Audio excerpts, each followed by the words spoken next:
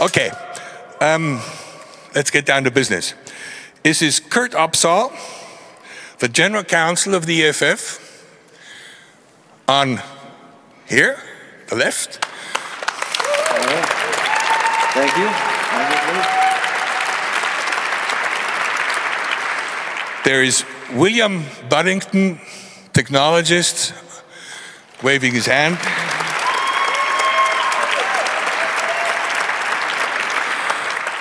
And uh, the topic is, you all know, but let's say it again just for principle's sake, protecting your privacy at the border. So let's have a hand for the EFF and Kurt Opsahl and William Budington.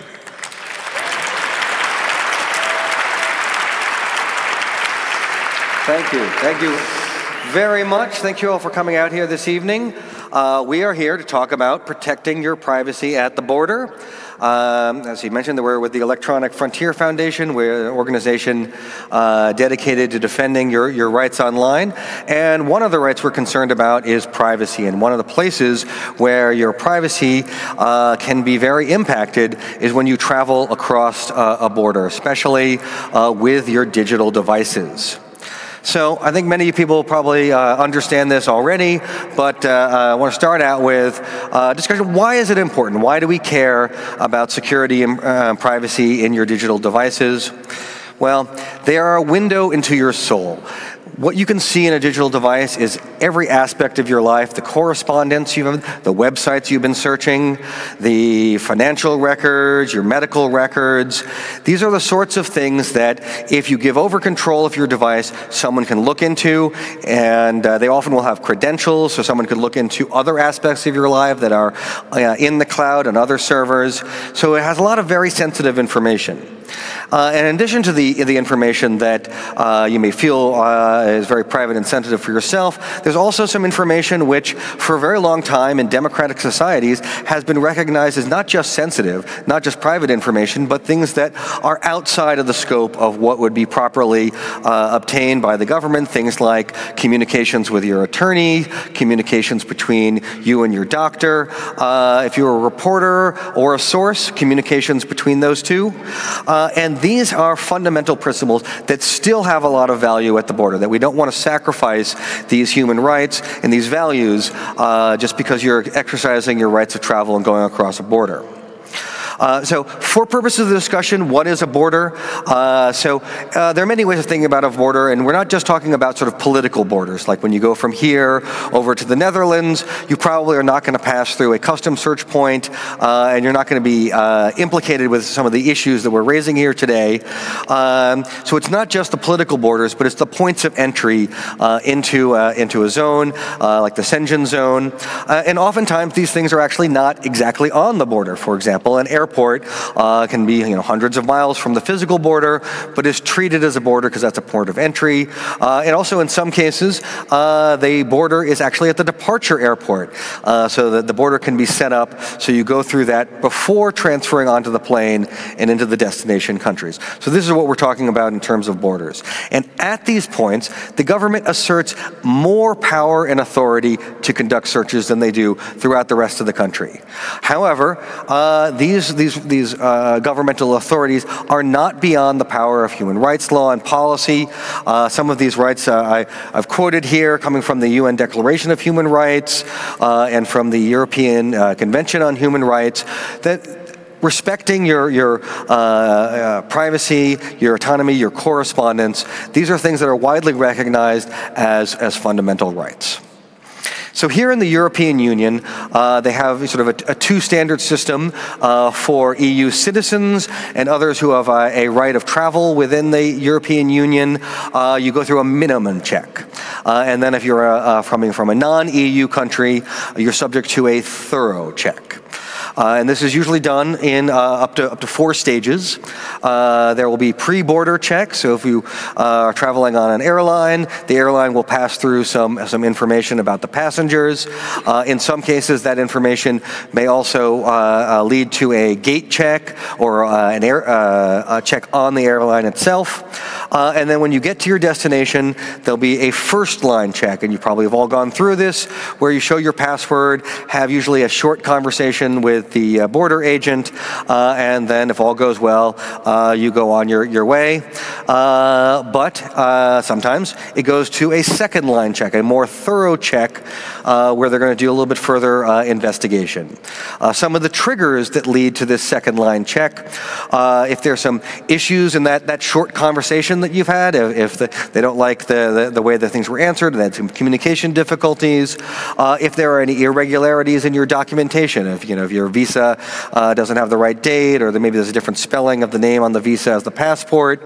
Uh, and perhaps most importantly, uh, they will do a database check. They'll put your information into the database and see if it comes back with any signals uh, or if there's any mismatch with the computer's information with the documentation you have with you. And these may lead to uh, a second line check. Um, and then in that second line check is where you might undergo the more thorough search. So we have the chart up here showing uh, the percentage of people who once they got to the second line, had a more thorough search. Now, this is not just device searches, this is any kind of the more thorough search. As you can see, there's actually quite a bit of a difference. In Charles de Gaulle, this was in 2012, uh, 48% of those who went to the second line got the additional searching, while at uh, Frankfurt, uh, the low number, uh, only 7% got the more thorough uh, uh, searching. Uh, and also just give a sense of how that might go. Uh, we have a chart showing also from 2012 uh, how long it might be. So less than five minutes up to uh, one to two hours. And you can see the various percentage there for, for the airports. Uh, a lot of it being centered in the five to 15 minute range. But if they find something interesting, you know, if they want to go through a device search, you're probably looking more at the one to two hour range. Now, once you're at a particular airport, it is national law that is going to define the rules for what kind of search is permitted, whether they're allowed to uh, demand your password. Uh, but there are some fundamental principles. Uh, the EU, EU Agency for Fundamental Right has put forth the, the reasons that would justify uh, these additional searches uh, at the border point. One is to verify your identity, uh, where you're coming from, what your nationality is, seeing if you're a proper person to be admitted. And the second reason would be to search for dangerous objects, like drugs or weapons, or to see if there's any evidence of criminal activity. And it's that last one that is the most likely one going to be the basis for a search of a device to look for some sort of evidence to bolster uh, criminal activity or, uh, in some cases, terrorism. Uh, and which brings us to our, an example from the European Union, uh, the United Kingdom. Well, they're in the European Union for, for the time being, uh, where they have Schedule 7 of the Terrorism Act. And this is a very broad power that has been granted to uh, uh, the authorities in the United Kingdom. Uh, it is limited by having a nexus to terrorism. And it was also uh, the uh, UK Court of Appeal found uh, some limitations under the European Charter uh, Convention for Human Rights. Uh, this came out of the case involving David Miranda, who was uh, traveling between meeting Edward Snowden in Moscow and Glenn Greenwald in Brazil, was detained under Section 7 at the Heathrow Airport, and brought a challenge to that. the court ultimately did find that the detention and the interrogation were okay, but said that the Section 7 uh, did not have sufficient protections for the right of free expression uh, because it didn't have uh, uh, the appropriate exceptions that would allow for journalists to communicate for sources. So this shows that uh, while it is a powerful act, it can be tempered by the Convention on Human Rights. However, subsequently, the, the border police in the UK have been asserting the right to demand passwords. Uh, and uh, more recently, about a year ago, a man by the name of Mohammed Rabbani uh, was uh, uh, asked to provide his password. He refused to provide and was arrested for that. And uh, earlier this year, at September, that conviction was upheld. He plans to appeal, but this will be a very important case in sort of determining whether in the United Kingdom they truly do have the power to uh, invoke this law, and for no other reason than, than suspecting they want to see if there's any terrorism connections, uh, be able to demand a password and look through all of your devices. So turning our sights a little more broadly around the world, a couple of countries to, to highlight here. First in the, in the Commonwealth, uh, Canada and Australia are both countries that do claim uh, a right to uh, uh demand your passwords and go through your devices and laptops at the border. The courts have not yet ruled on whether this is authorized under that those countries' laws. Uh, so uh, at some point there may be a challenge uh, to test this case, but in in the interim, uh, that's something that you might face when pa- passing over these borders. Uh, one thing of, of, note is the Canadian Border Police. they have a policy to restrict this to information that is on the device and not on the cloud. now, if somebody violates a policy, usually you don't have much of a remedy about it, but it is sort of nice to know that they do have that, uh, that policy. Um, and then uh, turning our sights a little bit more further afield to authoritarian regimes. Uh, and in this cases, that uh, if they want to search your device uh, at a border, they probably can do so with relative impunity. Uh, so if you will be traveling to you know, Russia, China, uh, some of the more authoritarian countries in the Middle East, in Turkey, this will be a time to take some of the more maximum precautions if you think they have have any uh, reason to uh, go through your devices, and we'll uh, discuss a little bit how we might figure that out later uh, because these countries may not be beholden to these international human rights norms, and there might not be very much uh, that you can do to stop it. Uh, one of the reasons I wanted to highlight Turkey in here uh, is that uh, they have detained up to 75,000 people for having a encrypted messaging app on their phones, simply for having the app, not because they were accused of doing anything particular with the app. This was Bylock was the, the name of this messaging app. Uh, and so if you were to travel over that border and they looked through your phone and found Bylock, that alone could be a reason for uh, further uh, detention. Uh, so, uh, and if you found it and it was, if we're able to discover it was recently deleted, that also might be considered suspicious. And now let's turn to the, uh, the United States. Uh, in the United States uh, these days, the, uh, when you come there, the customs agents might ask you some questions, like ask you to unlock your device, uh, to provide a device password, to disclose your social media handles so they can do public uh, searches about them. and how you can react to this depends a little bit on, on who you are. if you are a U.S. citizen, then they cannot refuse entry into the country. Uh, so while they may seize the device, but ultimately you would be able to travel on to your destination. For a permanent rest- uh, resident, also uh, would be able to come into the country, but there would be a little bit of after effects because this would raise questions about whether you'd be able to keep that status as a permanent resident. And for everybody else here, perhaps the majority of the room, if you are not one of these two categories, uh, you'll be asked these questions in a situation where if you say no, they can deny entry until you have to turn around and go back to where you came from, which puts a tremendous amount of pressure uh, to provide that access and to give up a little bit of your privacy rights. Uh, so, how often is this happening? Well, at an increasing rate. Uh, over the last uh, three years, uh, they have gone from uh, under 5,000 electronic media searches to on a pace uh, this year for over 30,000, uh, so a substantial increase. The one thing to keep in mind is this is out of 400 million border crossings, so like at a purely statistical level, the odds are pretty low that a random person will have their device searched. But of course, this is not actually random. So whether you, you know, your particular odds will, will vary. In addition, the U.S. has uh, started to undertake a program called Extreme Vetting. Uh, for the last several years, they have been uh, collecting social media handles, alias, and search results, and then providing that to uh, the Customs and Border Patrol to ask questions about what they find. And uh, uh, Donald Trump has asked the DHS to expand this program just about a month ago. and this will expand to looking at things like your responses in public hearings, uh, speeches you may have given at conferences, uh, academic uh, websites where you may have published a paper, uh, and this stuff is considered sort of fair game to uh, be questioned about as you cross the border. Uh, and at one time, this was focused on people who were coming in with immigrant visas, ones who were planning to stay for a period of time, but they have expanded that to more brief travelers. So, how does this work within the uh, constitutional and legal framework? Well, constitutional provisions do apply at the U.S. border, uh, but there is this, what's known as the border search exception, because the exception that proves the rule. Uh, routine searches do not require a warrant or individualized suspicion.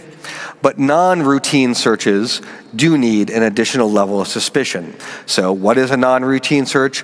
Well, it's defined as something which is highly intrusive, that impacts your dignity and privacy interest, or is conducted in a particularly offensive manner. So, how does that break down with device searches, electronic searches? Well, uh, a couple years ago in 2013, a court of appeal found that a forensic search did require this additional level of legal process. And this is a forensic search is when they take your device, hook it up to a machine, uh, copy the data on it, do some analytics. Uh, but a manual search, you know, where they pick it up, flip through it, uh, just with the border agent right there, that did not.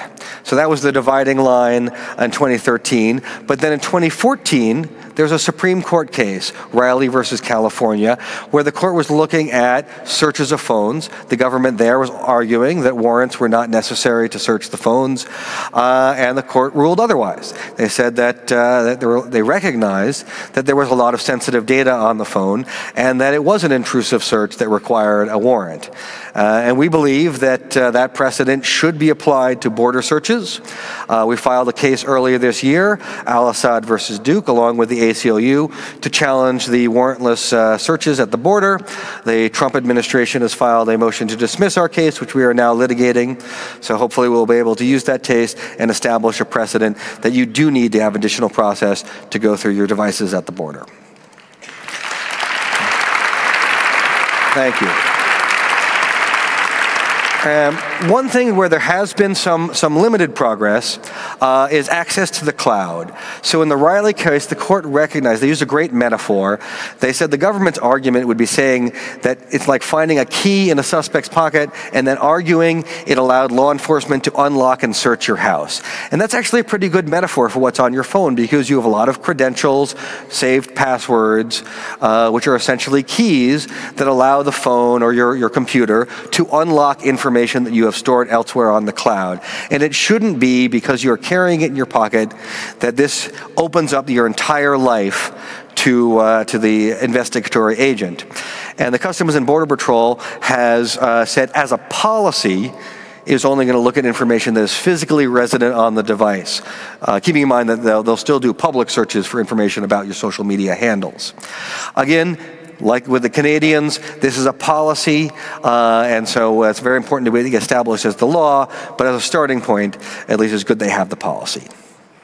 Another important thing to understand about uh, uh, U.S. law, and I think this could be applied uh, elsewhere as well, uh, is the difference between passwords and fingerprints. So many devices these days are using fingerprints as a method of unlocking. It's very convenient, uh, and it does allow you to uh, not have to type in your password every time. It's very convenient. But the law distinguishes between passwords because there's a lot of laws in the United States and actually in many other countries that provide you with a right to remain silent silent and not answer questions from the law enforcement. They have to do their investigations, but you can't be forced to answer. And those laws are a basis for arguments. You don't have to provide your password. But some cases have found that there are less protections for the information that's on your finger. In addition, besides the different legal protections, there's some practical ones. If you're at the border, your device can be unlocked with a finger. Uh, the border agent could grab your finger and just shove it down on the phone, and then it's unlocked, and you'll be arguing later about whether they should have had access and whether, instead of whether they can have access. And finally, it's if they're really interested, the government may have access to your fingerprints from other sources, and they may be able to try and get into the phone using that information. So, as you're approaching the border, it's going to think, how should I approach this? How should it work for me? And it's going to depend a lot on who you are and how you, uh, how you want to react to the situation. So things about who you are, your citizenship, your residence, your immigration status uh, will, will affect your thinking and, and, what your chances are of getting searched and how you should react to it. Uh, you're more likely to be subject to the search depending on your travel history, if you've been to countries that are associated with terrorism, for example. Uh, your history with law enforcement, if you have an arrest record, if you have convictions, these will increase the, the likelihood of being subjected to a search. And then when you're trying to decide how you would deal with a search, you're going to have to weigh some factors about your tolerance for hassle and delay versus your desire to make a statement and stand up for your rights. And these can be very tough personal choices.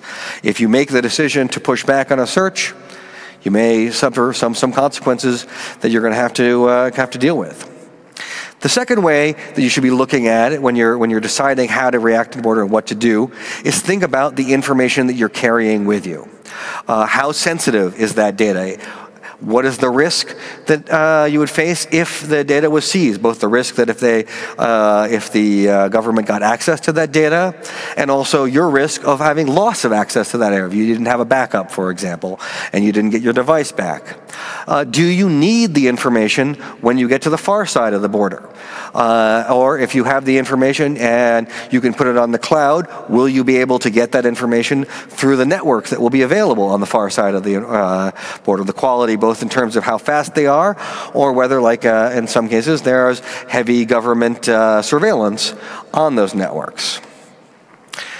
So before you arrive at the border, you got to think through some of these issues. You might want to talk with your employer uh, about your work devices. They may have policies about whether you should be taking it over a border, may ask for some information to be deleted, uh, may say you should or shouldn't provide uh, passwords if asked.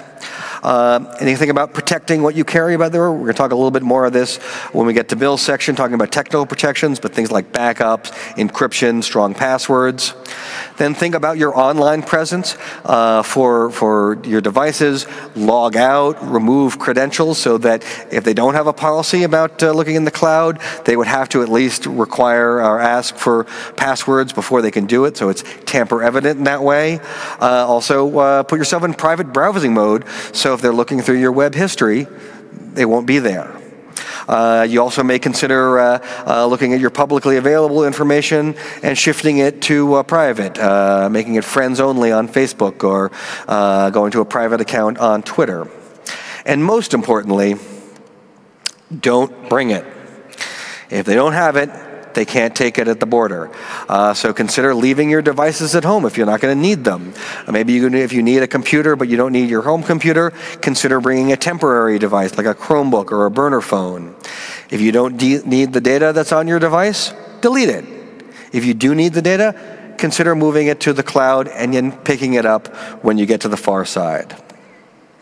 Then, as you come to the border, it's important first to plan ahead. Have an idea of what you want to do there, how you would react to various scenarios, so you're not making a decision when under this very uh, tough situation where you're under a lot of pressure of making a decision on the fly.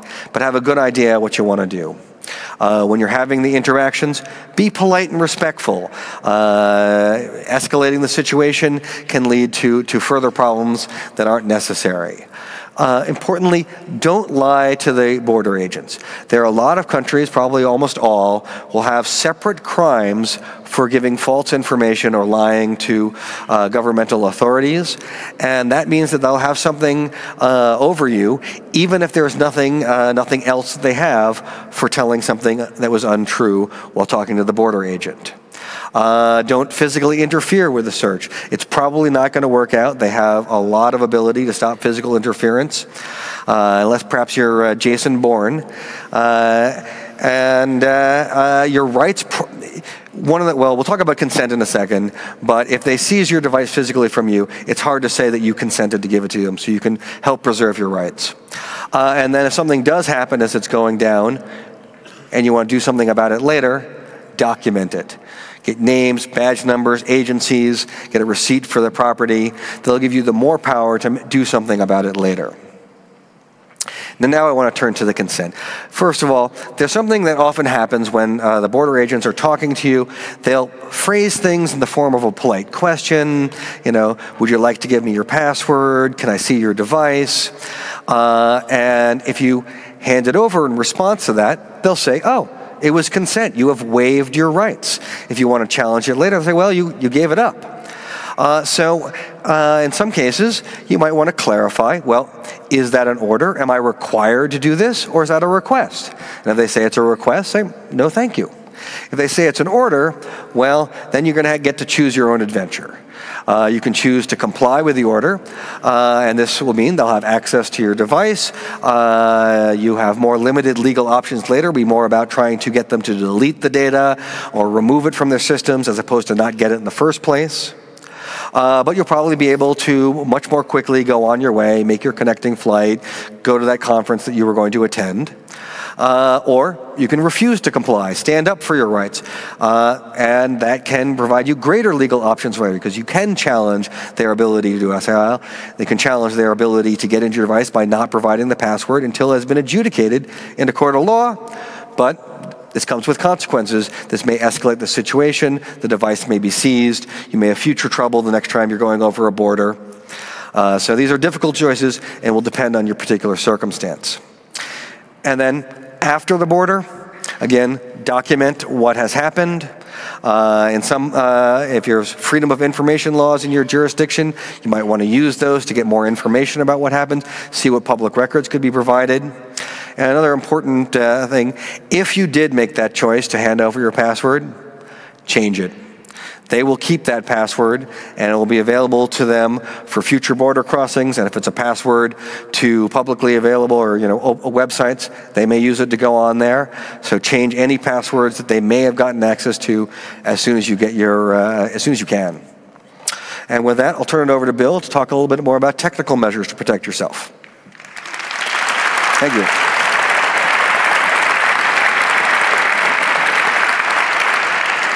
Thanks very much, Kurt. Um, yeah, so in addition to the legal protections that you have at the border, uh, there are some technical measures that you can take to protect yourself uh, in general.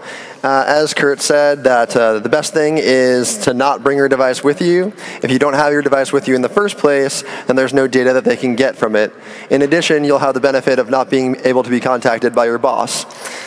Um, you can also use temporary devices, and that might also uh, provide some protection. You don't have legal measures. Um, uh, you don't have you don't have uh, uh you know your apps that are installed in your device logged into uh, various accounts like Twitter um, or Facebook.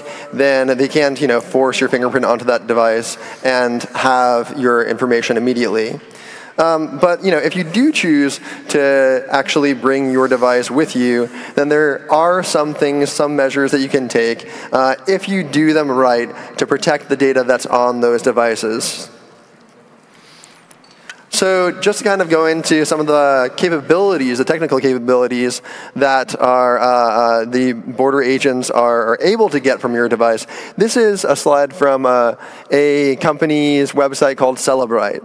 And Cellebrite is a forensic analysis company. What they do is uh, they you know, basically create software for law enforcement to take Android devices and use the JTAG interface to image those devices and get data off of them.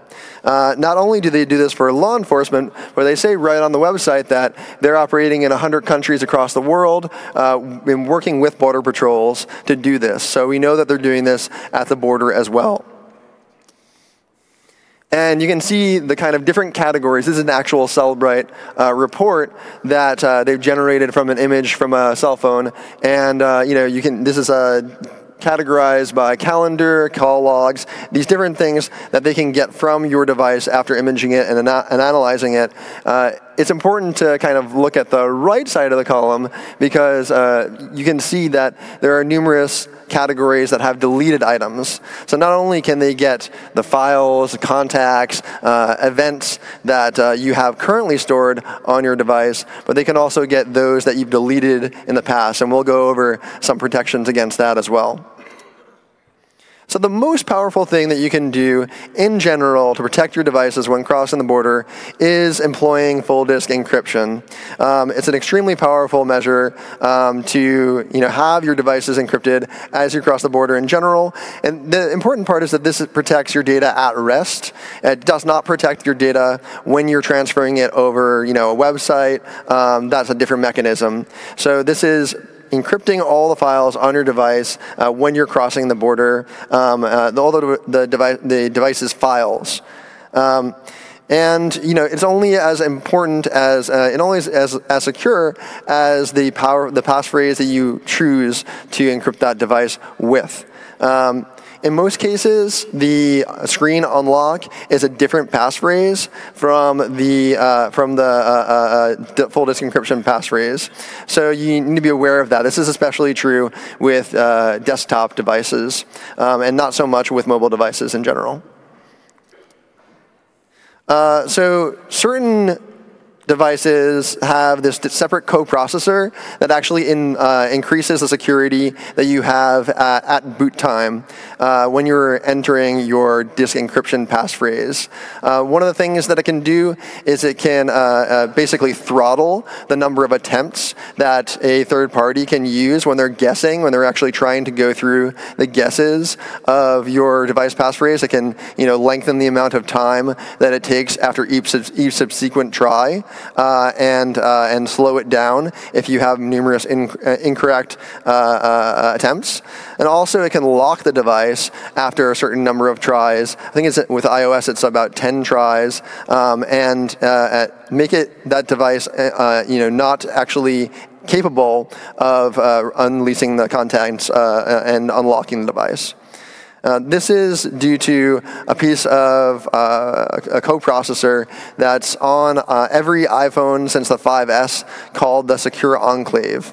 And what the Secure Enclave does is it takes that PIN or passphrase that you have chosen and it entangles it uh, or mixes it with several different things that are stored in the Secure Enclave itself. Um, these are sources, uh, uh, this is key material that is stored in the UID that's burned into the secure enclave at manufacture time, as well as a GID, which is uh, basically flashed and you can change, but you can't read the contact contents off of the secure enclave. Um, and that's where this kind of ex, uh, exfiltration resistance property comes from. So when you want to choose a good passphrase, uh, you really want to look for a strong uh, uh, passphrases that, because these are critical for actually uh, securing the device in a proper way. Um, in modern situations with modern hardware, trillions and trillions of guesses can be tried in a very, very short period of time. Uh, they use huge word lists and complex combinatorics um, to make it so that they can brute force your passphrase and get at the contents. So what we recommend is using five or six random words in order to choose uh, your passphrase. This is pretty resilient against those brute force attacks. Um, and again, it can kind of be a very memorable passphrase too. If you have five or six different words, then you can create a story, weave a story about how that passphrase works. Um, a great example is XKCD's Correct Horse Battery Staple uh, comic that you probably are familiar with. In addition, you can kind of look at our website and get a good list of dice phrase passwords that you can use uh, and look into the methodology of how to generate these passphrases. So with device encryption, uh, there's mobile support uh, across the board for device encryption pretty much at this point. Uh, Android has uh, implemented uh, partial support since 2013. Uh, Android 6.0, you know, implemented it only if Google Apps are enabled. So basically, since a, Android stock is an open source operating system, anyone can take it and implement it. But if you have Google Apps installed on that device, there's a contractual obligation to, uh, to actually implement uh, secure and uh, full disk encryption. And iOS has had it uh, for a long time, since ever since the iPhone 3GS, um, and iPod Touches have it uh, with a third generation later. This is kind of look, what it looks like on different OEMs.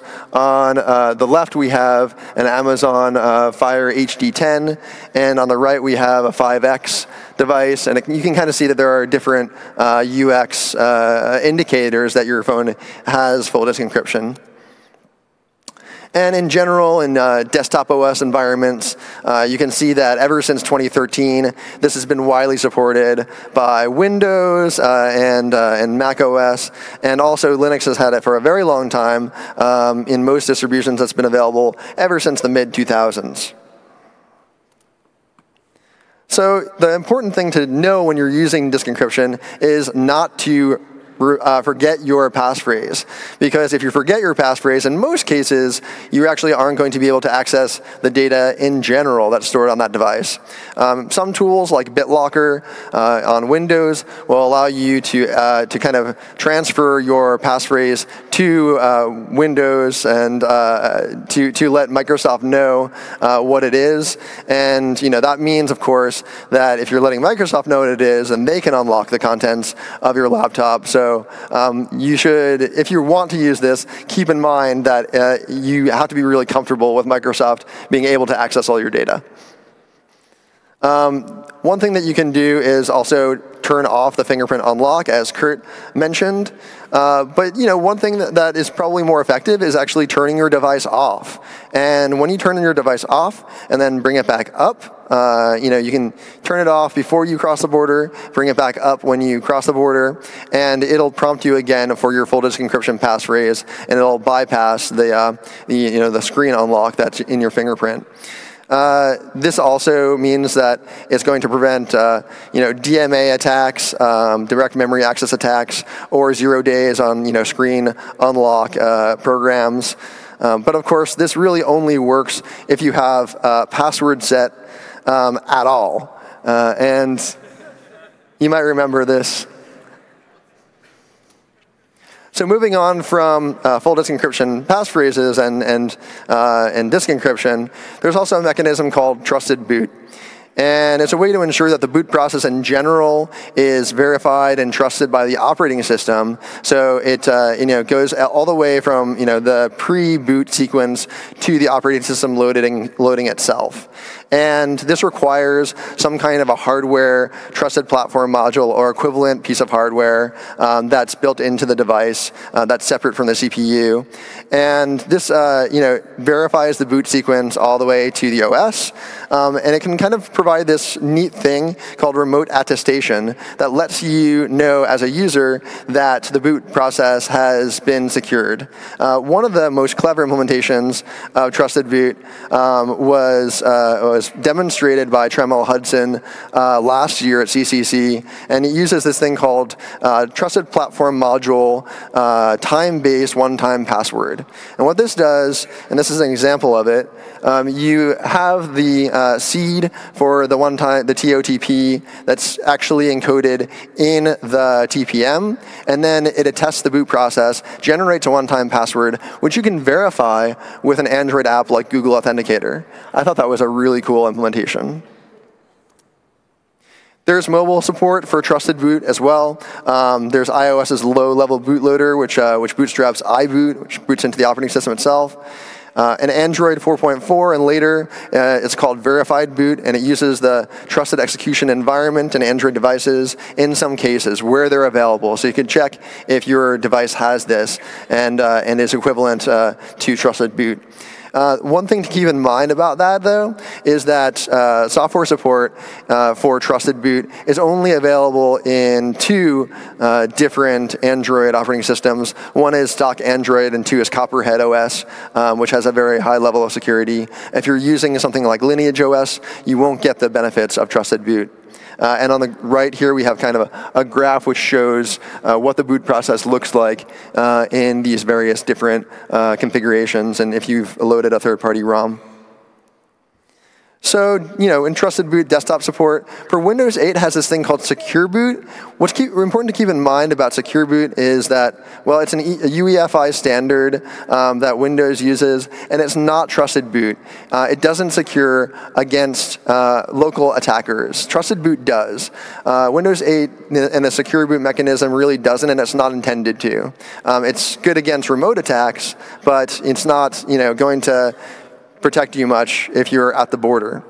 Uh, Linux supports various different uh, distros that have uh, trusted boot in, uh, uh, available for them. You can use self-sign keys uh, in many cases, but you should check on your hardware support if it's available for you.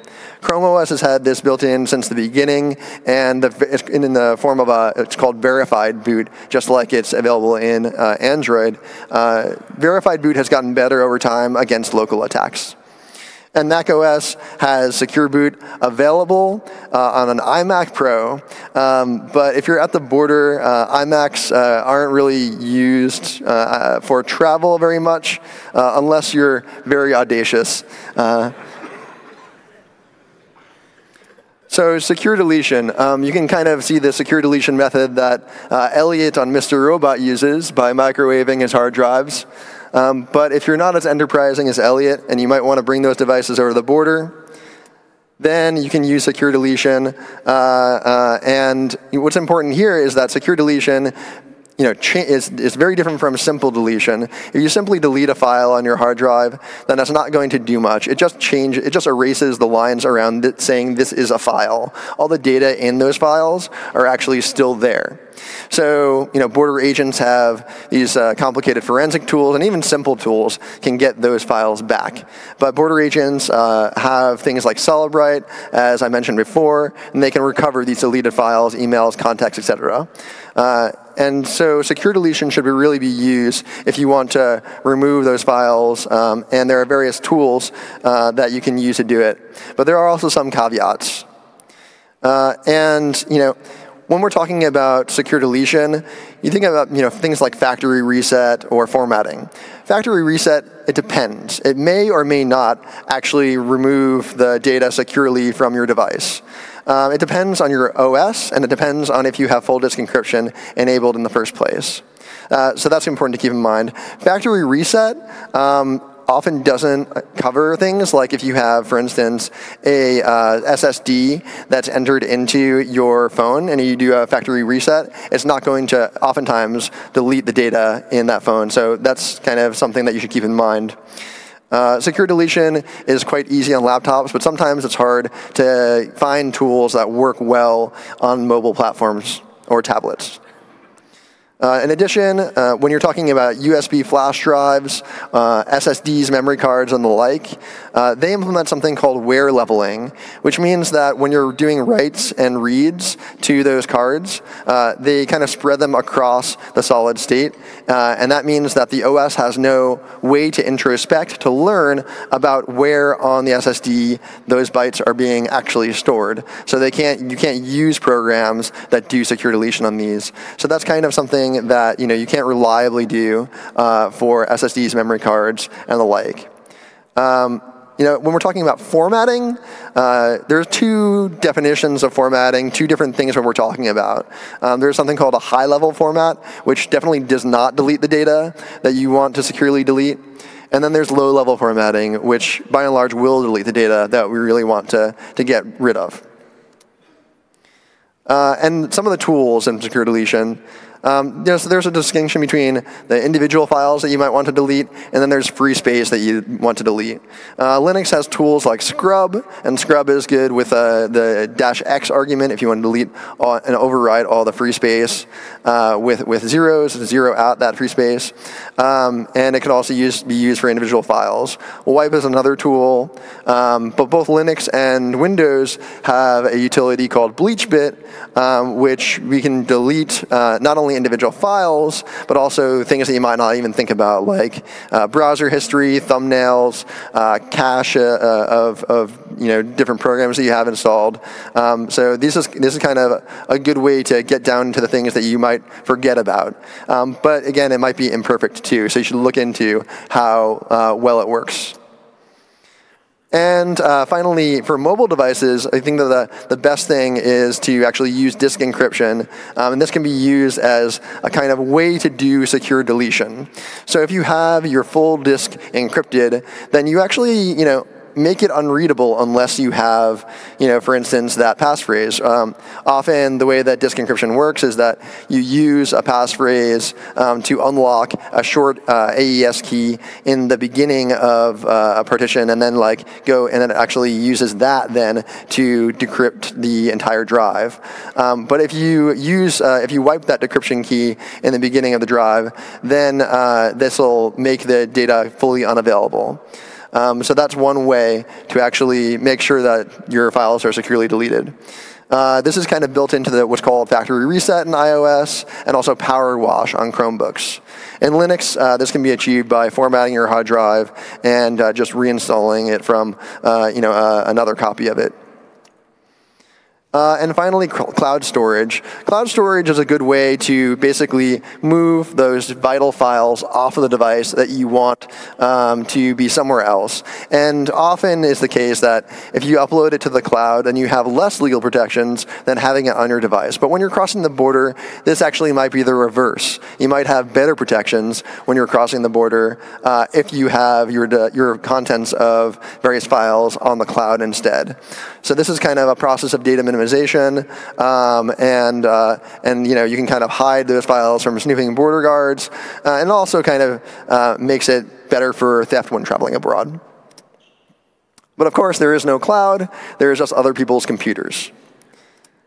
Uh, and in cloud storage, you have risks. You have the risk of a government coming and issuing a subpoena to a third party, to, to your cloud provider, and it's them saying, fork over the data. And that can be uh, very dangerous. That can actually get you, your data to the government. Hackers don't need a subpoena. They can just hack into the cloud servers and get that data themselves.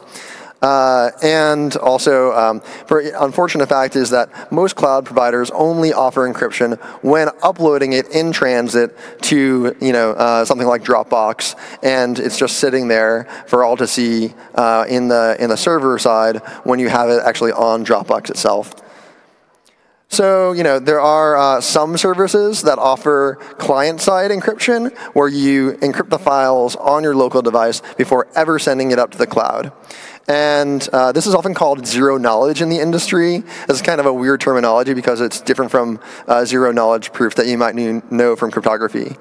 Um, it provides protection against, again, governments and hackers, um, but you should really remember to back up and remember your key material and passphrase if you're using this method. So here's a kind of chart of the different services that offer uh, client-side encryption and do not offer it. You'll notice that the most popular services uh, don't actually offer client-side encryption, and you have to use uh, some of the lesser-known services in order to, to really get the best protection uh, uh, for your cloud backups. And finally, you can use a self-hosted service like OwnCloud or Nextcloud um, if you're not trusting cloud services in general and just want to host your own uh, way to back up your, your files. And this comes with some you know, uh, advantages and disadvantages. Uh, one advantage is that I call it subpoena resilience, which means that you'll have the subpoena come to you directly, so you'll actually know about it, whereas your cloud service provider might actually never tell you. Um, and the other thing is that with uh, OwnCloud and Nextcloud, they have a uh, service that allows you to use client-side encryption. Uh, as of Nextcloud 11, which is coming out in some point next year, they're going to offer client-side encryption as a default. So that's a kind of great uh, way to uh, you know, protect your data by yourself in a way that you control. Uh, but one you know, kind of really important consideration to keep in mind is that you want HTTPS enabled on your server when you're using these cloud services uh, if you're self-hosting. So some of the takeaways from this uh, is that you know, best defense is not to bring your device with you. Um, you know, you might kind of be a little bit less stressed out if you just don't have that device with you in the first place. Um, secondly, if you do choose to you know, bring your device with you, use full disk encryption, use a trusted boot, uh, you know, a computer that, that enables trusted boot, has it built in, um, and you, you know, employ some data minimization practices um, that can offer some powerful protections uh, for your data in general. Uh, so with that, thanks very much, and I think we're going to turn it over to questions. All right, thank you. Thank you, everybody.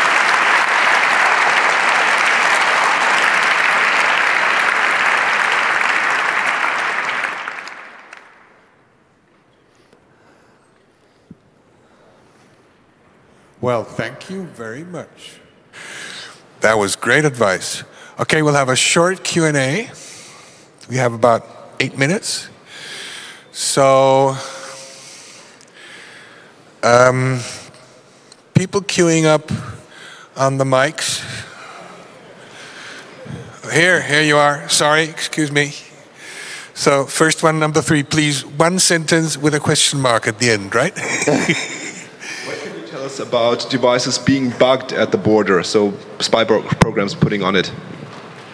Yeah, so if you have some kind of a trusted boot mechanism, then they, if they can't get into the operating system level, then you know some spyware that is installed the operating system level, they can't actually get to in the first place. So that's a good protection. Okay, hang on. There's a question from the internet. Yes, uh, thank you.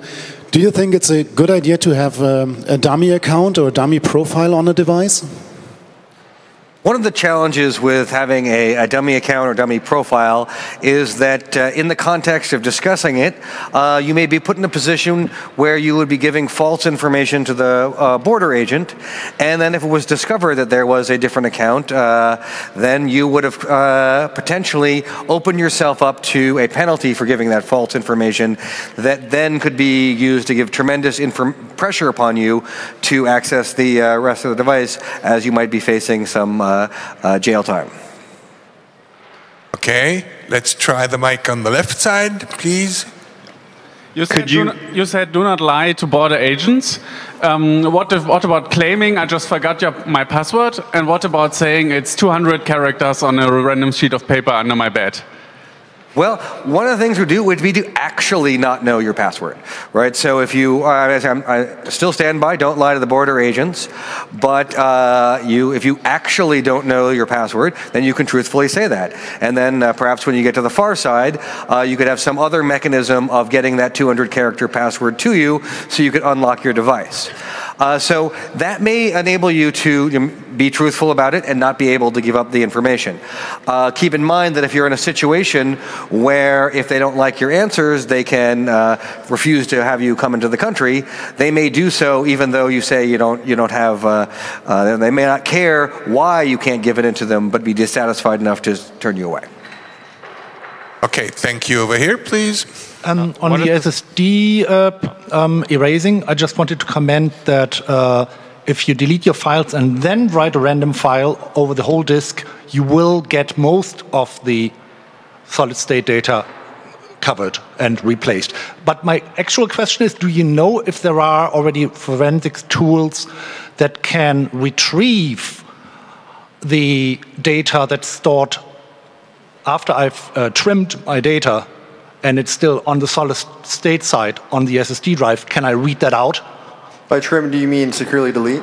No, no. I mean, uh, when I delete my files, the trim system will just tell the SSD that these blocks are not used anymore, but they are still uh, set on the solid state side. So, do you know if forensic tools can actually ask the SSD hey, tell me what's hidden there that you marked deleted, but what you still have programmed in, so that I can retrieve the data. Uh, if that wouldn't be available, then I wouldn't have to do the extra erase that I just, uh, the extra override that I just suggested. Yeah, um, so I'm not aware of any tools like that. One thing to know about SSDs is that they have embedded firmware in them themselves. So uh, you can conceivably see an SSD card that actually kind of exfiltrates uh, uh, any data that you write to it to some kind of hidden uh, extra partition. I think Bunnie Huang uh, actually has done a, a lot of research on that. So if you want to look into that, that that's a good place to start. Okay, thank you. Another question from the internet. Thank you. First, a brief comment. Um, VeraCrypt has been missed on your list um, of encryption tools. And then the question, do you know a zero-knowledge cloud client for a common cloud provider? Maybe even open source so that we can see that it actually encrypts?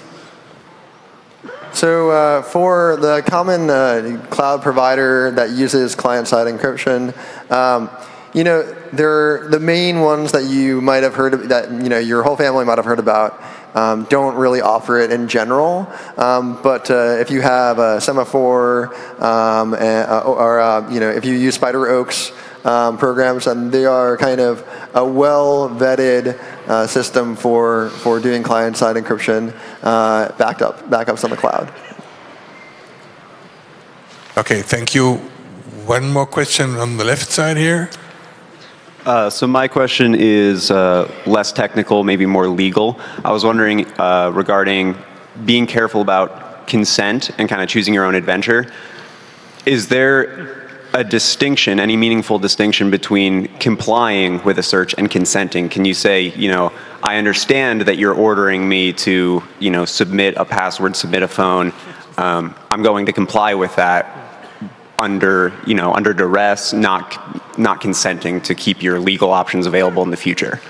Yeah, I think there, there, there uh, are important distinctions, and I think in the truth is, uh, even if somebody uh, uh, gives what appears to be consent under those circumstances, there's actually some pretty good arguments that that's not a freely given consent. You're under tremendous pressure. You're being uh, kept away from uh, other forms of communications. it is a situation in which the custom agents have tremendous power over you, and so I think that, that even if you if, if you said, you know, I'm not consenting, but here you go. Uh, I, I, you could certainly argue that that wasn't consent.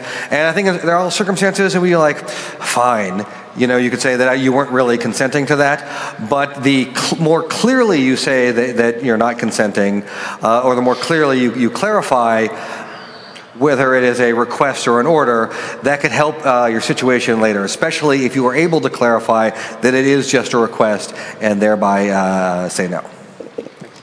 We'll take one final question just before all the frustration breaks out.